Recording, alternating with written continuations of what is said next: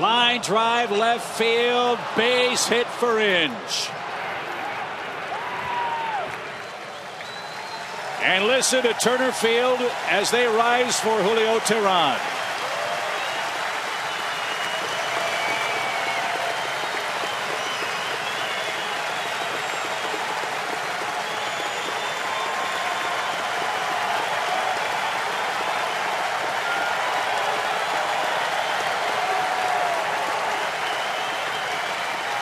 Seven and two thirds hitless innings until Inge singled in a pinch. Teheran with 11 strikeouts. And Inge did what he